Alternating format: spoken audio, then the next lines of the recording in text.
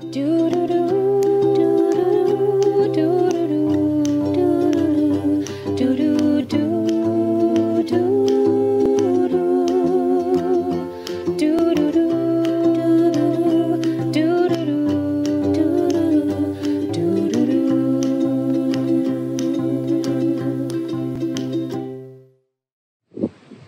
Hello, and welcome to the Nature Journal Connection. I'm your host, John Muir Laws, and today I'm here with my friends, and family, and we are nature journaling together. Uh, tide pooling! Come on. Nature journaling together is a lot of fun. Start by a solo investigation. Everybody splits up. With everybody out on their own, you have more chances of finding crazy things. Once you've had a chance to investigate on your own for a bit, get together with one or two friends and start to share with each other your best finds. As you explore together as a group, use your I notice, I wonder, and it reminds me of prompts. When you come up with interesting questions, use your let's see and could it be skills to come up with possible plausible explanations for what you're seeing. Ask yourself, how does this work? Ask yourself, what's going on here? Why is this like this? Why is that like that? When did this happen? See if you can figure out any of these sorts of puzzles just by your own direct observations. After you've had some time to investigate together, sit down with your own journal near the phenomenon that is the most interesting to you. Use your words, pictures, and numbers to document and describe that phenomenon as best you can on your piece of paper. Show the features that to you are the most interesting. Ask the questions that are burning in your head.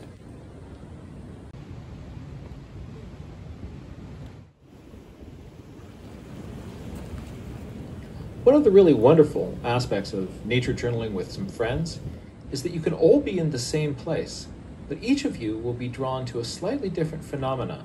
You'll be each looking at the same experience, but through a different lens.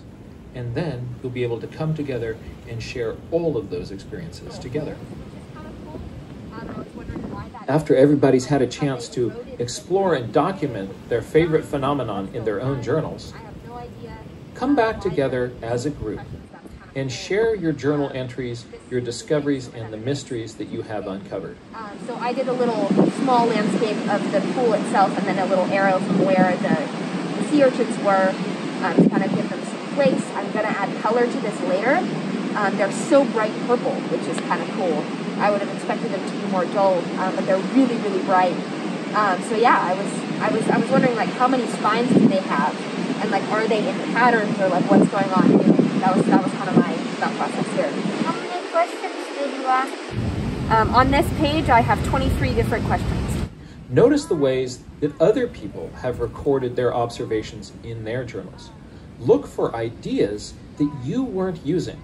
Is somebody else perhaps describing a phenomena using a trick or a technique that you could also use in your journal to make your investigations more clear? Oh, you use your fists to measure. Cool.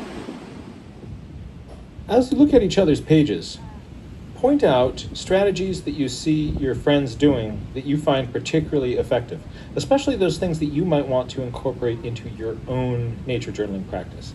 So you see somebody describing perhaps a cross section or an alternate view of an object in a way that might not have occurred to you. Point that out to them. That'll both reinforce it to them that, hey, that's a good idea. You should do that again. It's also going to make it more likely that you'll remember that strategy and be able to incorporate it into your own nature journaling practice the next time you're out in the field. Relative sense of, how big that is. Making a key like this is a really useful strategy for um, recording information in a complex place. Well, what, is, what are your uh, next steps going to be on this? I'm gonna color it and then log it.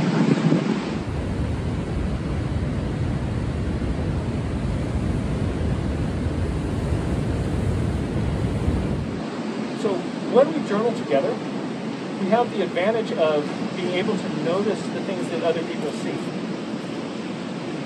Each of us observe different sorts of things here in this tide pool. And in addition to that, the way we recorded it in our journal was different. So you really got into the it reminds me of. It did a close up of textures. You were zooming in and zooming out and really pushing the questions. You were using diagramming to show the details of a single tide pool. So each of us kind of has a different strategy. And so what you can do is look at like, oh, she had some useful strategies that I can use, right? You can look at, look, oh, I might take that idea from her journal, right? I'm going to see if I can get more questions into mine. How can I use and it reminds me of? So we can take ideas that other people are using, and that really helps us when we look at other people's observations and other people's journaling techniques. That helps us be able to become better journalists ourselves. Let yourself be motivated and inspired by looking at the pages of somebody else's journals and taking their best ideas and incorporating them into your own game. Amelia created these two pages at the San Francisco Zoo, one day after going tide pooling with her friend Fiona. Fiona's journal was filled with questions and question marks. Notice how that inspiration has taken hold on these pages. Let yourself be changed and influenced by the work of others, and your own nature journaling will improve and improve. Your nature journaling challenge this week is to try exploring an area with friends, family, or classmates. Begin by a solo exploration where you get to go around on your own and see what you can find. What are the most interesting discoveries that you can make? Then collect in groups of two or three, perhaps more, and together go back and revisit all of your best discoveries. As you do this, use the process of I notice, I wonder, it reminds me of to explore any phenomenon more deeply. Then, out of all the things you've seen, choose the one that is the most interesting to you. This could be something that you discovered or that was discovered by one of your friends. And in your journal, document it as richly as you can, using your words, pictures, and numbers. Come up with possible explanations for phenomena that you observe. How much can you figure out? Get it all down on paper.